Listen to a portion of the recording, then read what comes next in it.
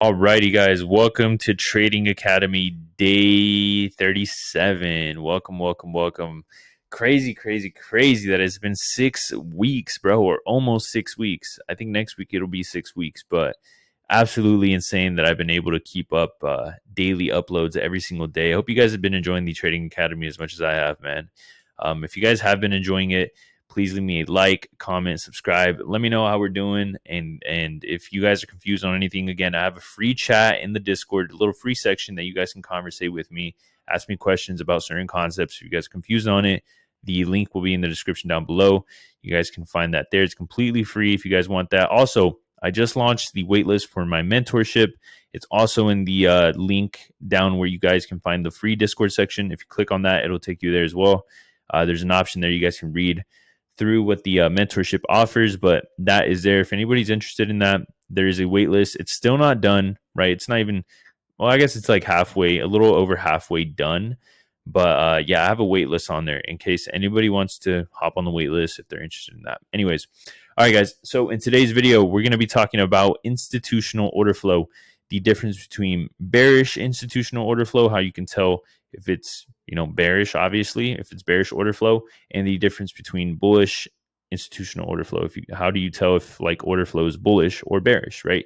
What's the difference between the two? How do you identify it etc it's very very very very very very very simple okay? I'll just break it down for you obviously the first step in in identifying if order flow is bearish is obviously we just take it back to the basics right? It's just trends right? Are we making higher highs? Are we making lower lows? Are we making higher lows? Are we making lower highs etc right? How do you like are we in a bullish or a bearish trend? That's the first step right? Okay is structure bearish? Is structure bullish okay?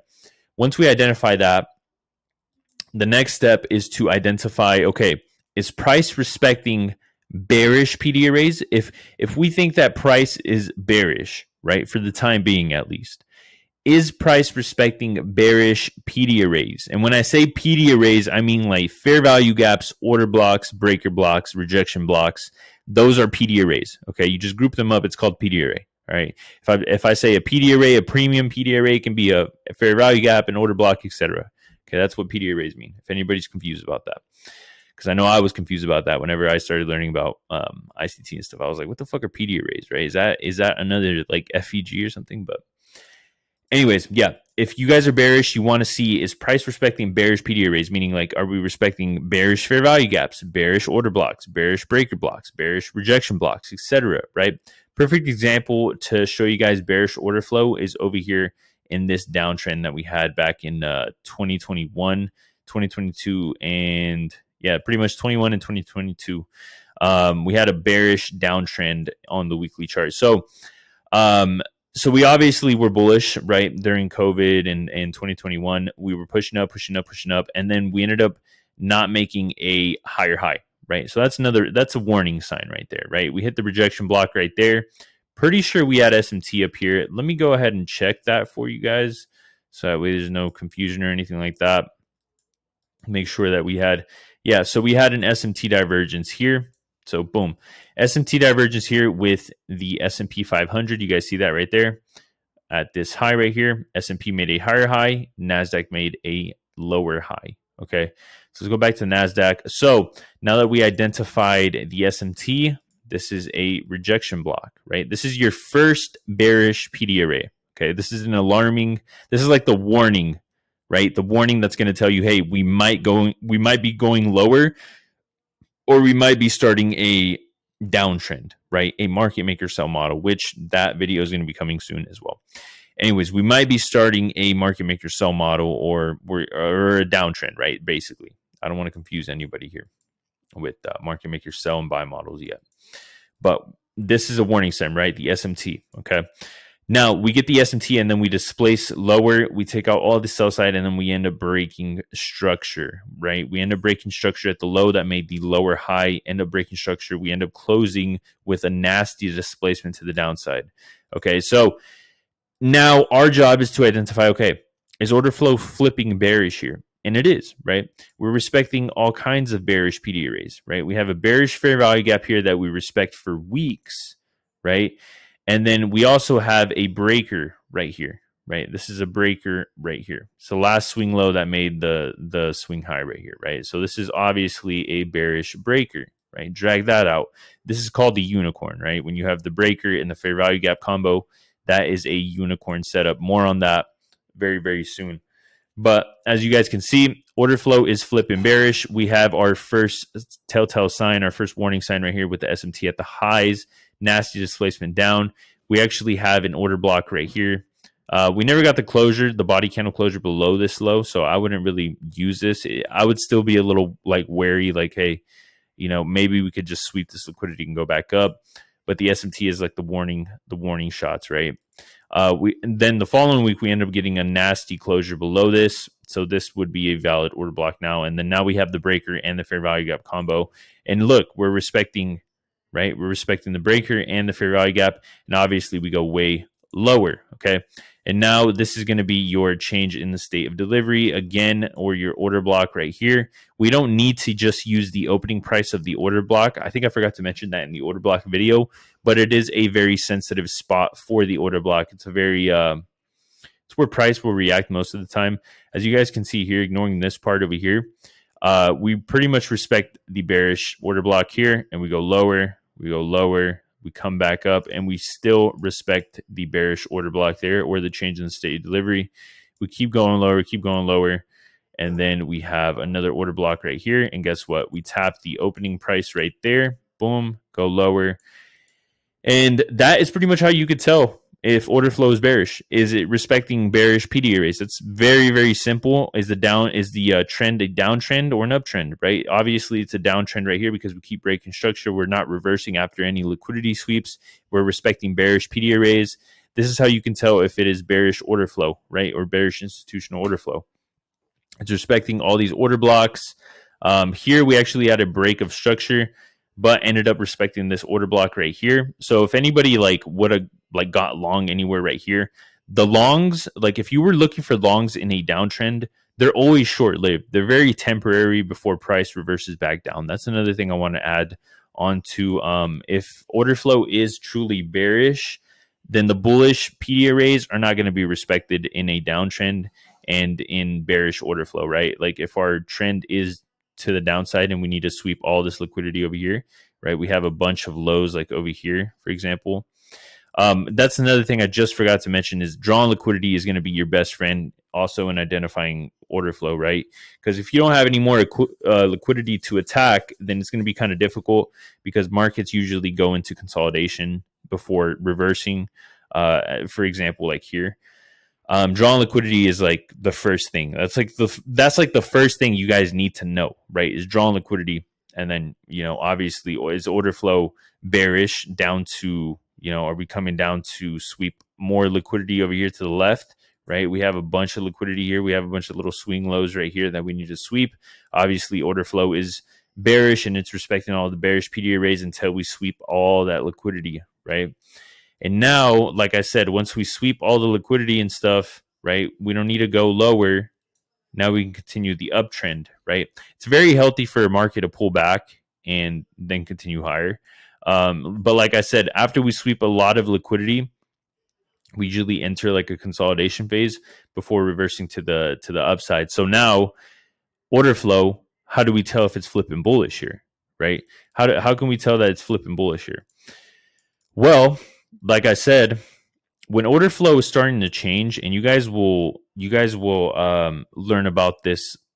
I don't know when, but it, it should be sometime very very soon. I'll make the video on it. It's a market maker sell model and buy model. Uh, a lot of the times when these start, you will have an SMT before these start, or at the time that they start, right? Um, I'm sure here we had an SMT at these lows or somewhere around here before reversing to the upside. So let's go ahead and check that. So if I go over here, let's see if we had an SMT divergence here.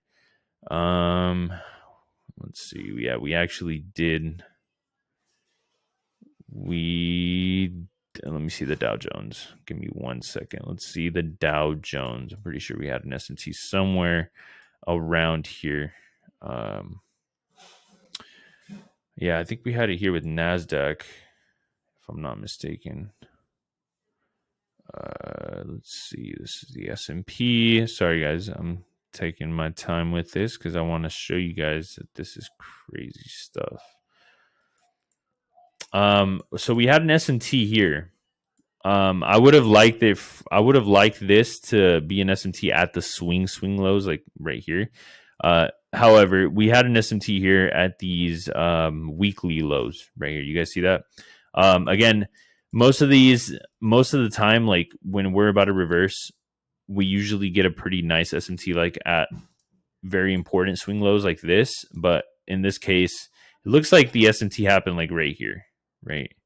Um, and at these lows right here. As you guys can see here, if I hover over my mouse, you guys will see that this low is that low right there on NQ. Um, these lows never got swept with this low. And then, you know, these lows got swept right there. So we had an SMT right there. So we start pushing up. We start getting a break of structure. And now order flow is switching, right? We're disrespecting bearish PD arrays now. Um, when order flow is starting to change, we'll start re- disrespecting bearish PD arrays. Okay, pretty much, and then we start breaking structure, and then we start respecting what bullish PD arrays. Okay. So here is a weekly fair value gap. We never closed under. Remember, wicks do the damage, bodies tell the story. We start pushing up, and then we continue higher. So maybe you're a little sketched out here um, maybe you're here, you're a market participant, and you see this break of structure, and then you're thinking, okay, maybe this is just a lower high to continue lower, right? Because we had another uh, break of structure over here, and maybe you're thinking the same thing right here. But you have to make sure that again, remember what I said over here in a in a bearish downtrend and in bearish order flow, bearish or bullish, sorry, bullish PD arrays are going to be disrespected in a downtrend and when order flow is truly bearish. Okay. Now, when we're flipping and we have SMTs, that's going to be like, remember the warning shots, right? We're going to push up. Um, and then we start pushing up, right? We start disrespecting these bearish PD arrays. We don't make a lower low anymore, right? Uh, the indexes refuse to make lower lows, right? Now we made a higher high right here. And now we made a higher low right? It's very, very simple. Now we're respecting bullish PD arrays while disrespecting bearish PD arrays. Okay. And we also have a, or actually, no, we don't. Sorry. Dismiss that.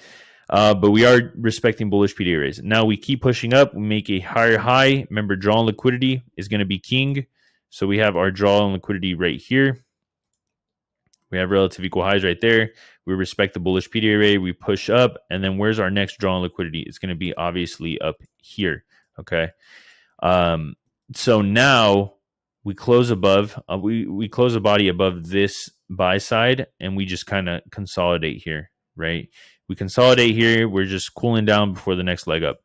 We push up, we close a body above that. Where's the next draw on liquidity? Right. This is going to be, this is bullish order flow, right? Once you identify your clear draw liquidity, um, this should continue to respect bullish PD arrays. Okay. As you guys can see here, it taps into that fair value gap. Obviously, I'm looking at a weekly chart right now. Like if I were to go on a daily chart, there'd probably be a lot more daily PD arrays, like daily fair value gaps, daily order blocks, breakers, etc. I'm just showing you guys because this is all relative, right? You can use this on a five minute time frame, a weekly time frame, etc. Uh, but we sweep this buy side here, and then look, we start going lower, right? So we enter a period of bearish order flow right here just to go higher, right? Um, so we end up sweeping liquidity here. So now we have a lot of, of sell side to work with. We have sell side there, we got sell side there, we have equal lows down here, we got equal lows right there. Like we have a lot of stuff to work with right here. So we end up um, we end up sweeping liquidity here. We end up breaking structure on the daily, going lower. Let me just go to the daily real quick because probably be easier to show you guys this. All right, so obviously we have sell side, sell side, sell side, relative equal lows, uh, weekly fair value gaps under that. So um, again, our drawn liquidity is going to be higher, all time highs, right? We sweep this, and now we enter a period of bearish order flow. Okay. So um, I'm pretty sure we got an SMT right around here. Let's check real quick. Yeah. So, like I said, the SMT is going to be like your warning shots, right? We had a higher high formed here on the ES, and then on NQ, we did not. Okay. We had a lower high. So once you get that SMT, that's going to be your warning shots, right? SMT after a sweep of a key level, right? A sweep of buy side. You get the SMT right there. This is your warning shots. And then look, right? The one that makes the lower high is what? What's it respecting? Bearish PD arrays, right? In a premium also, right? If you were to drag this to here in your uh, lower time frames, maybe you can even do it on the daily here, but we're in a premium above this premium fair value gap, right? So it's respecting bearish PD arrays and disrespecting what, right? We have an order block here, disrespects it, sweeps the low, closes below it, disrespects these bullish fair value gaps, right? It was reacting off of it, but then we have that SMT forming, right? So NQ shouldn't get above this high. It should be a protected high, right? Didn't hit the rejection block, but it shouldn't get above this high. And then we go way lower, right? And we keep going lower. And guess what? Look, we respect another bearish fair value gap right here on the daily, right? So we're entering bearish order flow, right? You guys follow me? And we have an order block right here. Just forgot to mark that right there. Boom, order block, right? SMT, bearish fair value gap. So now we're entering bearish order flow. So now what can you guys target on the daily time frame? You guys can target the sell side, right? Drawing liquidity. Drawing liquidity is going to be your main thing. Okay. Once you know you're drawing liquidity, bearish order flow and bullish order flow become very, very easy to identify, right? We come down, sweep, right? And then right here, when we close under this, this body, when we close under this low, guess what the next candle does, right? What does it do? Comes back and retests this order block down, right? Pushes up, anything anything above the highs like in bearish order flow any pop above a high is going to get rejected right? We're rejecting highs and breaking lows right? Boom. Close under. And now boom. What do we do? We flip into bullish order flow for temporary right? This is just temporary okay we come up we close above this fair value gap that sent us lower right push up we close a body above this fair value gap right here let me go ahead and mark it right here. That forms right there. Push up. You can actually long right here just off the daily candles, right? Remember the inverse fair value gap video. We push up. We take out this drawn liquidity here. And guess what? Boom, back down, right? Back down into this inverse fair value gap. But also, we have what? We have this bullish fair value gap that disrespected what? This bearish fair value gap. So now we're going into bullish order flow for temporary, right? Just temporarily, we're going into bullish order flow. So now we start pushing back up, back up, back up. So this becomes our new drawn liquidity. So does all these highs right here. We end up clearing all these highs right here. Let me go ahead and delete all this because it's going to get messy. We end up clearing all these highs right here. Boom, clear that high. And guess what? We tap into what? What do we tap into, guys? We not only just clear the buy side, but we tap into this daily bearish order block right here right? Boom, tap into it, come back down, boom, right here. Okay. We come into a daily bullish fair value gap. All right. Now it's respecting it for a little bit, right? Now, this is when you want to start looking at the other indexes to see if you get some sort of uh some sort of uh SMT because now that you flipped it but you still have drawn liquidity down here, right? You still have these nice, very, very, very, very nice equal lows down here, which would be my main target, which it was when I was trading with the group. This is what I was telling them. These are going to be the main targets to focus on, right? Going forward. But as you guys can see here, this is when you want to start looking at the other indexes and seeing, okay, do we have any SMTs occurring here because we've been consolidating for a couple days or a few days or whatever. Um, and we actually do right? So we get an SMT right here at these highs with the YM and the ES, right? ES makes a higher high, right? YM makes a higher high, NQ does not make a higher high right here at these two daily candles right here, Thursday and Friday. Boom, we go lower. We close that body below what? The 50% of the fair value gap, of the bullish fair value gap. This should be a telltale sign that, okay, maybe we're going to wick, we're going to wick the bottom part of the fair value gap or we're going to close under it. And guess what? The next week, boom, right? The next week ray over here on NQ, let me go ahead and do this so you guys can focus on this chart. The next week, when Monday opens, Tuesday opens, we don't close a body below it, but then guess what? Wednesday, boom, right? We close under it. So now we're continuing the what? The bearish order flow, right? So um we're going lower, we're going lower, we're going lower, boom, boom, boom. And then we have a what? Bearish fair value gap, right? We go lower, we go way lower, and then we sweep these equal lows, and then we have we form more equal lows right under those equal lows, right? And under those equal lows, if I go to the weekly, actually these were these equal lows under those equal lows were the fair value gap. Okay, but we we did form another set of equal lows right there on the daily, like I just showed you guys. I thought I thought under these fair value or I thought under these lows were the uh, weekly fair value gap, but my bad. And anyways, we ended up sweeping these, forming another set of equal lows. We come up, we respect this, we go back down, we form those equal lows. I'm pretty sure we had an SMT there, and we did right. We had an SMT right here. So remember, again, right? ES makes a lower low NQ makes equal lows. This is a valid SMT as well, right? So we go into a bullish order flow for a little bit. We disrespect this fair value gap that sent us lower. We push up, we push up, we push up. We clear out this buy side right here into what? What do we go into though? What do we go into above that high? We tap a premium daily fair value gap. Take out your fib, mark out the swing high to the swing low. We're also an OTE, deep premium, right? Deep premium right here. Tap the daily fair value gap in the deep premium, and then guess what? Continue the bearish order flow again, right? Come down, come down, come down, come down. We break all these lows. We reject highs and break lows. And then we tap this daily fair value gap, right? We respect it, go lower. We take out these lows. And then we obviously start flipping back into bullish order flow, right? We start disrespecting what?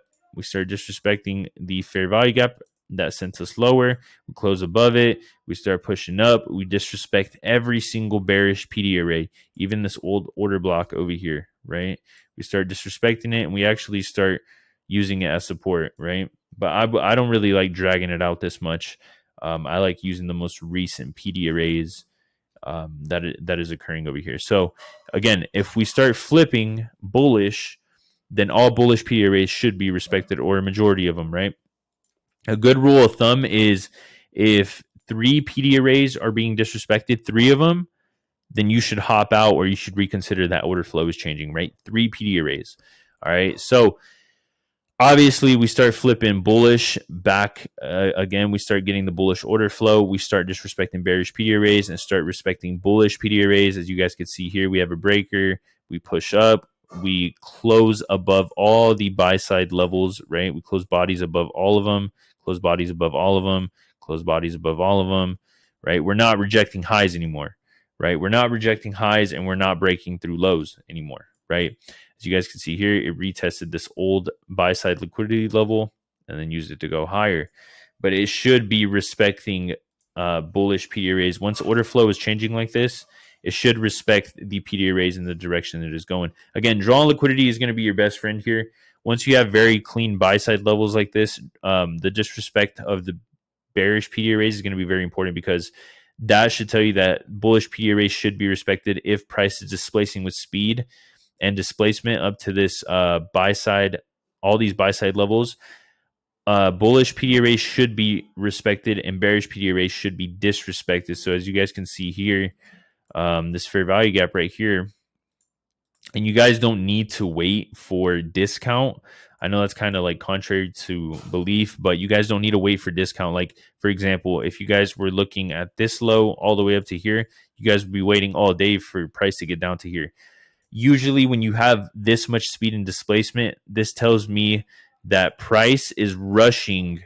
It's rushing to get up to this buy side, right? And sometimes it does it does retrace a lot more. It could retrace into the breaker, this change in the state of delivery, CS, CISD or order block. Sometimes it does, but sometimes or most of the time really when you have huge displacement like this very very quick displacement it's it's usually telling you that price is is in a hurry to take out this liquidity and all this buy side right here, right? This is what we like to call low resistance liquidity, right? Um, but that's that's going to be another topic for another video. But we close above the highs. We're not rejecting highs like we were in this downtrend, right? We were rejecting all the highs and breaking lows. We're not doing that. We're closing above the highs and we're rejecting lows, right? This is how you can tell if order flow is bullish, right? Say it with me. When it's bearish, we reject the highs and we break lows. When we're bullish, we break the highs and we reject lows, right? It's, literally that simple. We're rejecting lows, we're breaking highs, right? Over here, we're rejecting highs, we're breaking lows. That's it, right? We're respecting the bullish P areas. We close above, we keep pushing up. We come back over here to the to what? We come back over here to the daily fair value gap, right? We tap the midpoint of it and then we continue higher. And then guess what? This is where we start. Um, this is where we start coming back into discount, right? So we come back into discount into OTE. And look, guys, we clear out this buy side and then we have a nice set of highs up here. But if you notice, compared to this leg, this leg is slowing down. You guys notice the displacement slowing down, right? It's taking way more candles to go higher now. So this is where you shouldn't like start FOMOing and start trying to buy every bullish PD array right here, right? There's no clear drawn liquidity all the way up here besides up these up besides these highs up here, right? And compare this leg, right, drawing up to this liquidity here compared to this leg, right? We don't have as much displacement speed right here, and we have way more candles working its way up. So you could expect that price is going to retrace back down to discount or at least you know OTE or something, and it actually did. Respected a bullish PD array in OTE, and then guess what? We kept pushing higher. So yeah, guys, um, yeah, it's got super super bright in here. uh, but yeah, that is to be um, how you tell the difference between bearish and bullish institutional order flow. Hope this video helped a lot. If you guys have any questions or any concerns or anything like that, join the free Discord section. Link is in the description below. If you guys have any questions, leave comments in the YouTube video as well. If you guys enjoyed the video, leave a like, comment, subscribe. And uh, yeah, hopefully this video helped clear some confusion about some things. And hopefully this video helped you guys in some sort of way. But yeah, catch you guys in the next Trading Academy Day video. Peace out, guys.